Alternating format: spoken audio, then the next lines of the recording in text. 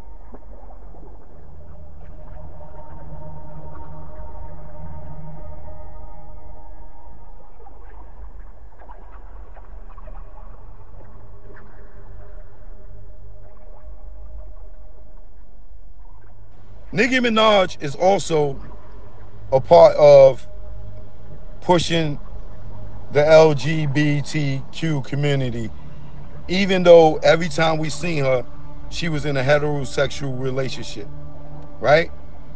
She turned all these little kids out, told them to be Bobs, and a bunch of, she made, had uh, influenced a bunch of young girls to be lesbians even people in my family that I, I know that were big fans of hers. I have young people in my family that are now lesbians uh, because of the influence of Nicki Minaj.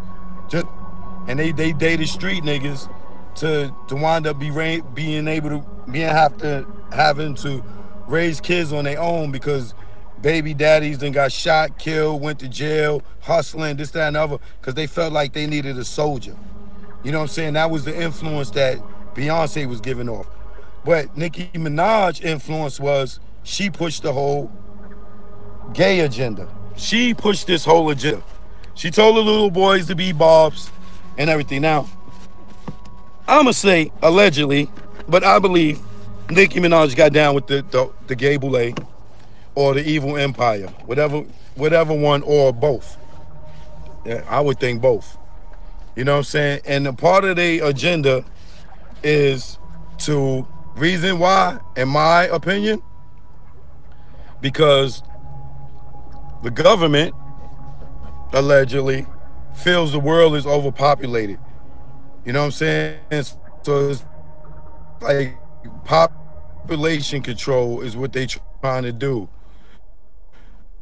And the more people that's with the same sex slows down the, the, the population of of the uh the community of the world actually. And if you doubt what I'm saying, you could go and check the birth rate of this year and then go back 10 years, then go back 20 years, then go back. Do you enjoy eating vagina? No, I really don't. I really don't like eating vagina. That's how I know I'm not gay. Like I let a girl eat mine though. Do It you feels know the it don't matter? It don't matter wait, who's wait, wait. doing it. It don't matter if you picture if you the pitcher or the catcher. Do you know that, right? Yes, it does matter, bro. What you mean? What? Yes, it does. Okay, so let me ask you a question. Hmm. If your nigga came home from jail after doing these four years, right? It was like it was like I ain't sucked no dicks in there, but I got my dick sucked. no. No, yo, fuck that. That's too much. no, You no, said- no. Wait, hold on. You said it don't matter if you the pitcher or the catcher. Oh, come on, yo. You know it's different for niggas. You know it's different for niggas. So if so if your man came home and said, I ain't touched no niggas, but I got my dick sucked. No, fuck out of here. That's not the same. You know it's not the same. You just try to prove a point. Come on, man. Girl on girl action is different from male male on male action.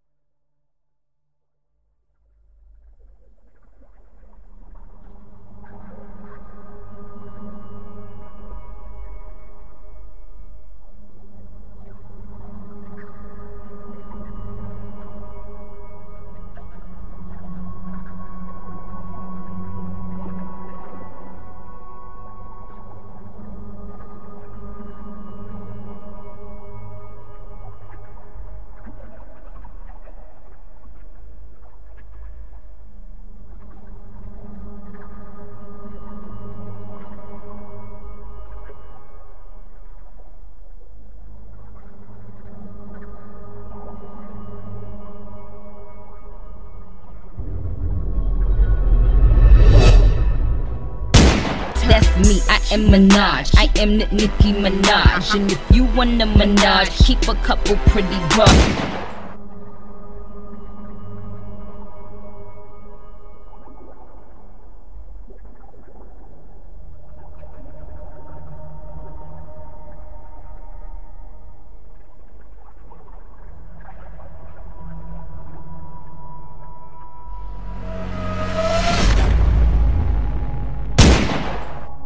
Boy, bring that ass here, boy. Boy, Drake, bring that ass back here again, boy. Boy, for real, bring that ass here, boy. Bring that ass back here again, boy.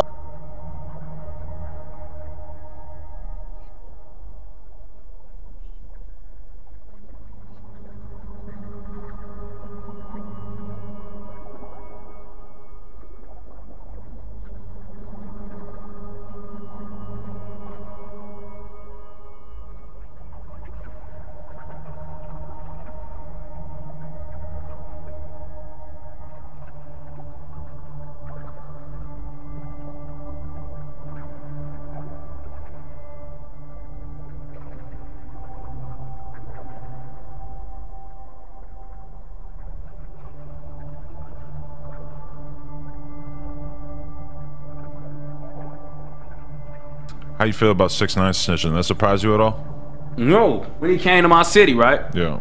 and did that lame ass shit he did in O Block, right? Oh blah. I knew he was a fucking lame.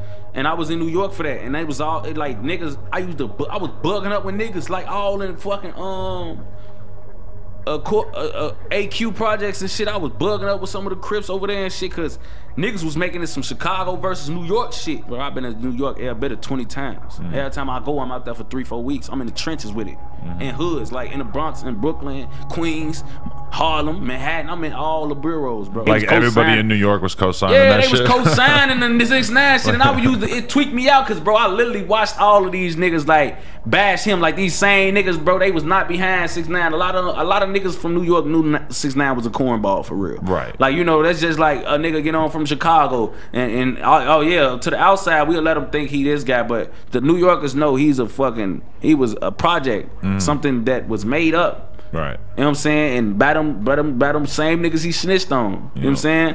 They made him. Then on top of that, come to find out the person that's that he that owns his management group or something like that is our mayor's brother. Right. So he got all type of police riding around with this nigga. You know what I'm saying? That's mean. Easy, big fella.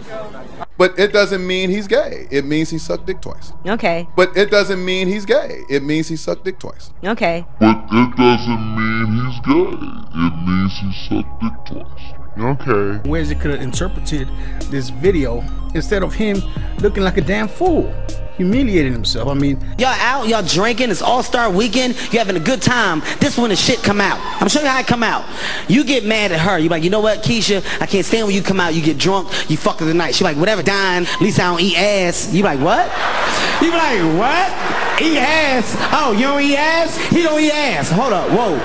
You you told him I eat ass? I don't even know where it came from. I guess you did an interview and, and you said you would eat the booty. Yeah, man, I'm so glad you asked me this here. And now, now Charlamagne. Oh, I'm so glad you asked me this now, here. Charlamagne, you know, he's a, a big advocate of eating booty. Hey. Hey, dog. Hey. I don't see the problem in. Hey. I mean, I, mean, I, eat, hey. I, I eat my wife. I say nothing. What's the problem? Hey. But. I've been hey. my woman for but, 16 years. Can, can I expound? Yeah, you, if you can expound. Can I expound? There's not so much expounded about eating booty, but hey. Yeah, but check this out. Mm -hmm. Check this out so many men mm. were speaking about it. they got, I'm gonna use this metaphoric term, so many men got wet in their ass about it. They were elated. They were excited mm -hmm. about me saying that. They more men made comments than women mm. about it. And it made me think one thing. What other things are these men doing in the closet that they haven't yet admitted to? Mm. Y'all so excited about that. What other things are you men involving you, yourselves in, engaging in? Mm-hmm. By any means. That's what I'm talking about, But Metaphorical meaning. We're going to get a big old bag of money by any means. I want to tell you guys something. I want to tell you, Tyler doesn't want to say, but Tyler's my motherfucking boyfriend. Let's not move on from your meat. Let's talk about you in those gray sweatpants. I agree with it's you. It's like being in the bathroom. If a guy pisses on you, you owe me a hand job now. If I was to ever, you know, be getting raped by another man, yeah, yikes, I would offer him head. I don't respect these motherfuckers stop, stop. who yeah, get your head from niggas yeah. but don't suck the dick back, niggas. Anybody go. could get their dick sucked. Word up. Charlamagne asks Malik Yoba, so are you gay? Malik Yoba turns around, he asks Charlamagne the same question. He says, Charlamagne, so what do you identify as? Are you gay? Charlamagne says, um, uh, I, I don't know. I, I think I'm straight. You think you straight. You think you straight? Now I know what that text from your boss was about. When he said he wanted to uh, suck your pee-pee. Me watching the, uh, this interview with Malik Yoba today on the Breakfast Club confused me all over again. Because I thought it was just that LGBTQP